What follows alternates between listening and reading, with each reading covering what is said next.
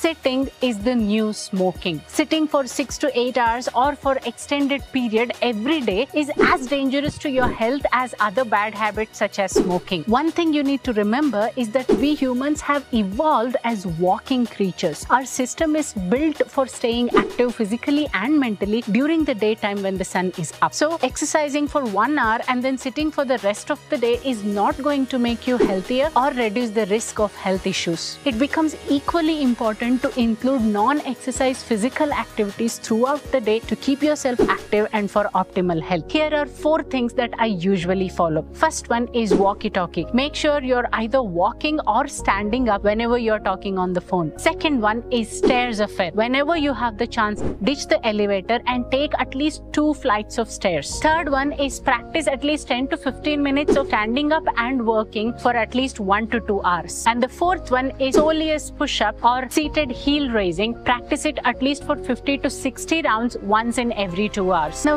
read the description to understand how these help and consider me as your accountability partner and let me know in the comments which one of these would you like to start with. Also save this reel for yourself and share it with at least 3 of your office colleagues.